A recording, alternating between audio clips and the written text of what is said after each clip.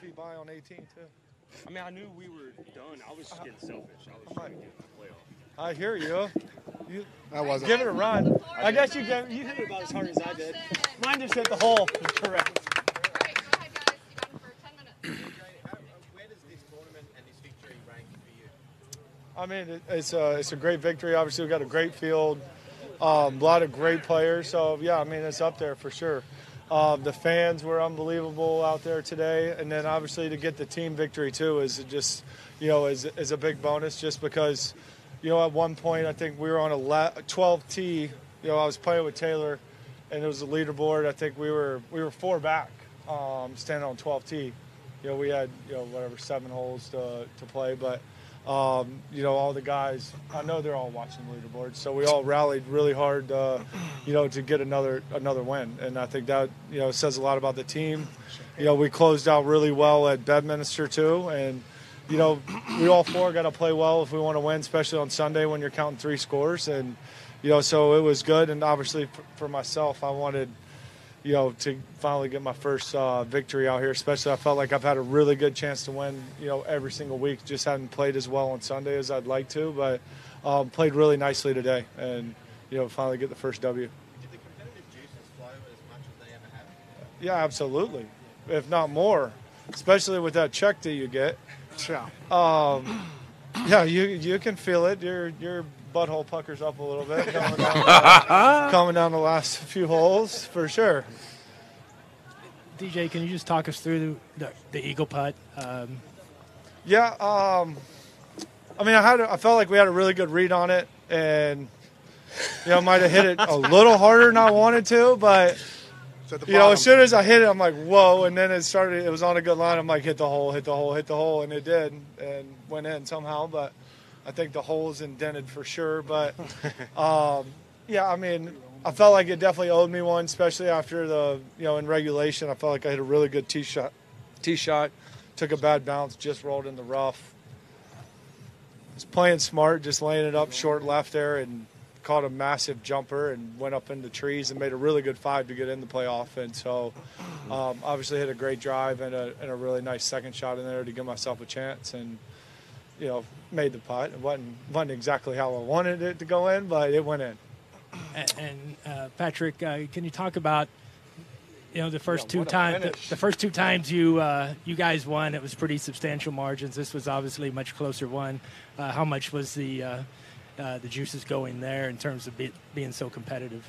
Well, I mean, the juices were definitely flowing. Um, you know, I, I think I had five or six left, and they came up to me and said, "Hey, one, you're counting, and we're down two, so try to do something." And, uh, and I was able to rally off uh, back-to-back birdies on four and five, and then to go ahead and hit it, uh, you know, three or four feet on eight to make eagle on the second to last hole is, is always something that you just kind of kind of get you going. I, I think that's what's so impressive about our team is it seems like every week we seem to close. Uh, you know, it's not just how we kind of start. We get off the gate the gates fast We've a got week. off to rough starts the last but couple. on Sundays, it Did do a seems like as it gets close, or even if it's the wrong direction on us, we, we seem to close it off and, and get going towards the end. And uh, you know, it just shows kind of how how important it is for us to go out and play well. Dustin, uh, from the time you left the tour to now, um, you know, I, I'm sure it's been quite the journey for you personally. So, you know, given everything that you've gone through for the last few months, you know, what is what does this win mean, mean for you? Well, it means a lot, and you know, I think, you know, obviously with the caliber of players that are playing, you know, especially now on LIV, you know, we got great fields every week. We're going to continue to have great fields. It's probably going to even get better. Probably started next year, but even right now, our fields are unbelievable. So, um, you know, for me, it's it's something new, it's something exciting, and I'm, I'm really enjoying being out here. And I, you know, we're playing at great venues, and you know, they do a wonderful job putting on the tournaments. I think, you know, you talk to any of the fans, the players, whoever, staff. You know, they, they do a great job taking care of everyone and making it a great experience for everyone. So I'm just really happy to be a, pro- a part of it. Question for uh, Taylor Gooch. Um, you may not have won this week, but you made a ton of money. Do you feel great going home knowing you're still the richest man in Oklahoma? So I'm not going home. So I'm going over to England.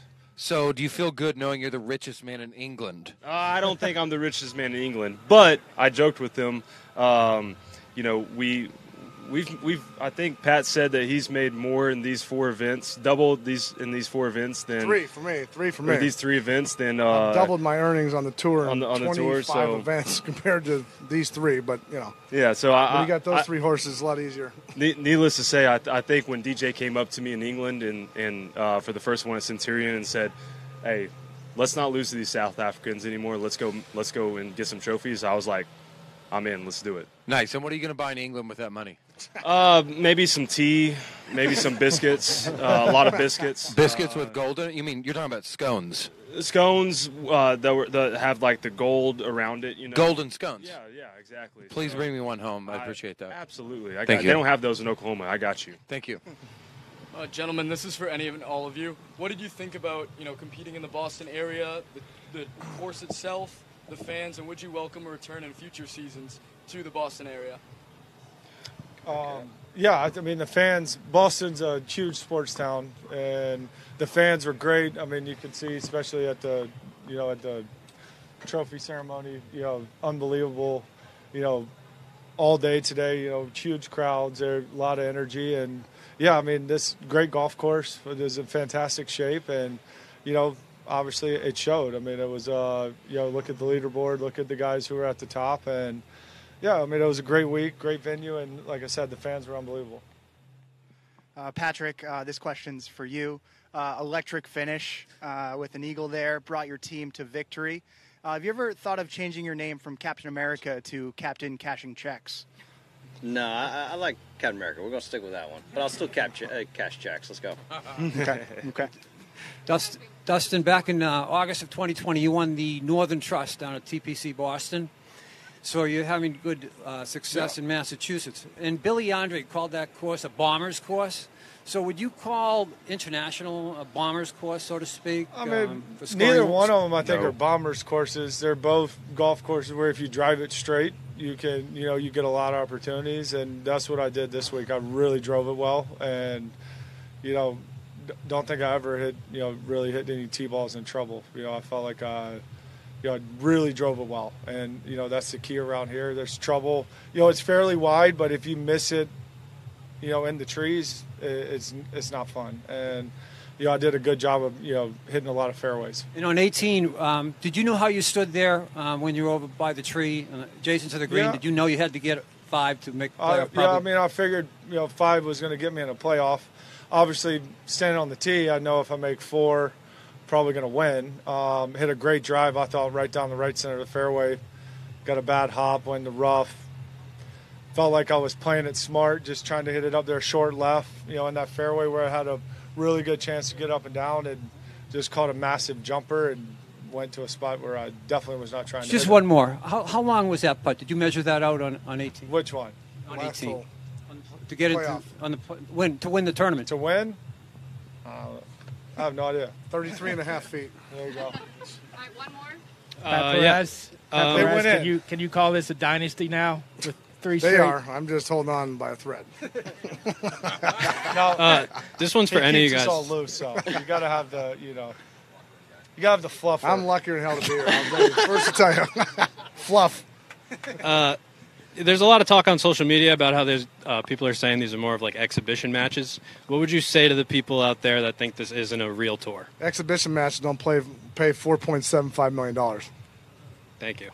It's about yeah. Mic drop. Mic drop.